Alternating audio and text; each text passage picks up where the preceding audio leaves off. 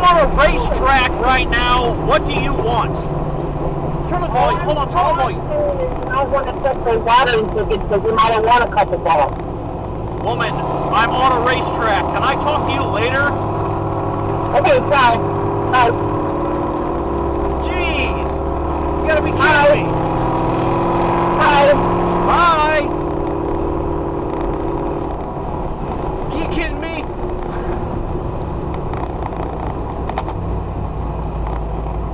I'm doing 105 miles an hour and I get a fucking phone call.